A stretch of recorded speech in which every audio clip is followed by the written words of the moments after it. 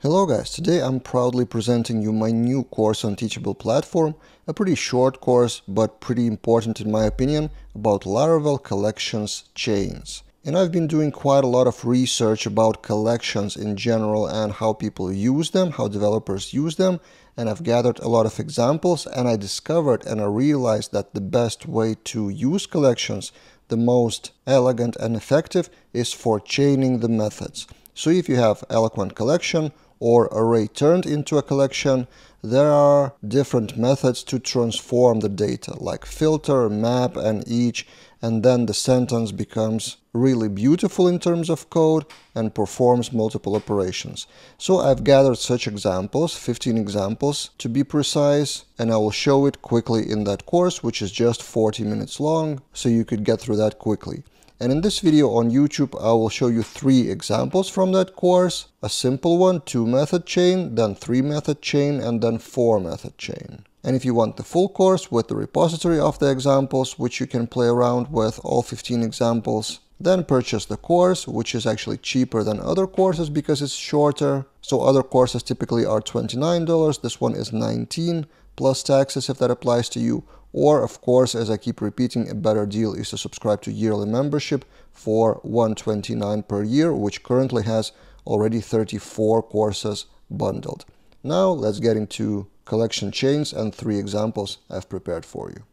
Let's start our course about Laravel collection chains from a very simple example with a chain of two methods. In all videos of this course I will take some code from some open source repository sometimes modified by myself, sometimes not, and we will debug step by step trace the values so you would understand what are the values after each step of the collection chain. So let's start with the first one. The goal here is to show the permissions divided by a new line tag and it is taken from day by day CRM open source project which uses as I understand data tables and to form the result of one data table column, they need to return the string, and string from permissions relationship can be performed with collections.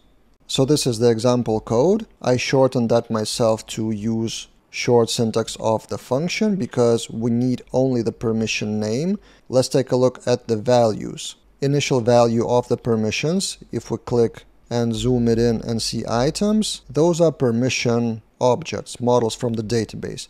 And we are interested only in the name field, name column. So this is the initial value, the collection of permissions. Then we do map through those permissions. Go back on top, this part. From each permission, we need only the name and we form a new collection with this value. Let's open it up and we have new collection with three items, only the names. And then if we want to form a string from that separated by BR, we use implode functionality and this is our final result which will be used in the data table to show permissions one by one with new line. So again, this is the overall collection chain from two methods, map and then implode. And with all those examples, by the way, they are working with seeded data with roles and permissions. So this is not hard-coded. This is actually taken from the database. You can take the repository and play around yourself. The next example of three-method collection chain is with repeating the same method twice. And this example will be interesting from a few perspectives. Let me show you why. First, the task itself. You have a list of models, you need to filter them out by some conditions, and then with each of them you need to perform some kind of operation. And this example comes from a repository opendor.me. It saves a lot of GitHub repository details, and for repositories, it needs to refresh the details from time to time, but only for the repositories that have GitHub access token and with at least one member registered. Basically, if we have the repository data of the GitHub, we can update repository details. And I want to point out two things here. First, using collection methods instead of rejecting that from the database.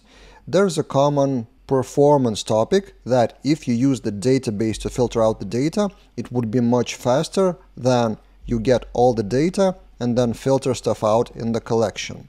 And that is true, except when it is more readable to use that in the collection instead of doing pretty complicated SQL or Eloquent query. And if you know that the data is pretty limited, so there could be like 100 repositories maybe, so if it's just 100 entries or even 1000 entries, the filtering in most cases wouldn't be that different in terms of performance if you compare Eloquent to filtering with collections. And every case is individual, so the theory that the database is faster, but in practice sometimes using collections is more readable in the code especially if the conditions are quite complicated and rely on other coding features, like for example, repository owner which uses polymorphic relations may be a user or maybe the organization. And then depending on user or organization, the condition is different. And one of the conditions uses more relationships and functions from Laravel, not from database. So that's the reason why in this case I think that collection is better than database or at least not worse. And also second thing I want to point out why use reject twice? First, you can do reject or filter, filter, filter, for example, reject, reject, reject. There's nothing wrong with that. And of course, we could use one reject and then return condition and condition. But that again would be more complicated to read.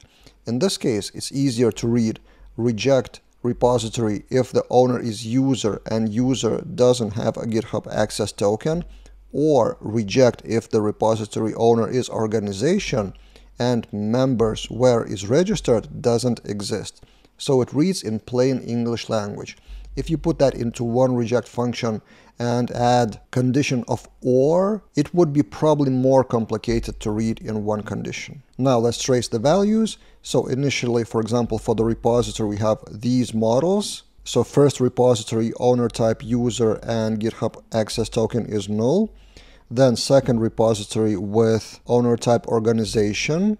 And then third repository I've seeded is user type organization, but this time with members from what I remember. After the first reject, so rejecting the users without GitHub access token, we have filtered out the first repository because the first repository has a user without GitHub access token. So that is rejected by the first reject. So now I have second and third repository and then another reject filters out the second repository because it doesn't have registered users. You don't see that clearly in this example because it doesn't show all the relations, but you can check that out in the database. If you want to trace it down, the repository link will be below the course video. And then with the final result of repositories, you perform each, then the value of repositories doesn't change, you just perform some action or operation, or in this case, dispatch a job. And now we get to the last part of this course is more complicated collection chains, so more than three methods. I group them into like four or more, and the first of those is unique filter map and values. What does it do? So we have a lot of events, for example, meaning server events like something happened and every event has a message, a subject, and let me show you the structure. So event all is message, status, and subject. So success message, maybe another success message, maybe error with failure, and maybe unknown with no subject. And then we need to get the unique messages, filter the ones that don't have subject, and extract the data into another structure. And this example comes from OpenDialog project, which was already mentioned in this course. It has pretty complicated structure and I've simplified it for this example of collections, but it's pretty similar here. So we work with message and subject and we extract data and extract data is this. So we need to transform the data into another structure and let's take a look exactly what that structure is. So after the first unique, the unique would filter the repeating ones. So this is the repeating, so success message and success also success message and success, even with a different subject, but the condition of uniqueness is unique event message. So after that unique, we have three items in our collection, success, error, and random message. Then the next operator is filter, and we're filtering out the ones without the subject, which is, in our case, this one. Subject null, it shouldn't be in the final result, which leads us to two items in the collection, success message and error failure. Then we map through those and as I've showed you, extract data gives you a different structure of that data and the result of that is collection of two items like this. So that's probably the structure required by that software project. I'm not sure why, but this is outside of this course topic. Our goal is to chain the collection methods. So we have the map into another structure, and then we need values. What does values do? As you can see, the keys of those items are 0 and 2, so not in sequence. When we filtered out the item with key 3 and key 1 even earlier, this one the keys stayed the same. So values would do the order of 0 and 1. So we get only the values and they are rearranged as a typical array wrapped into a collection.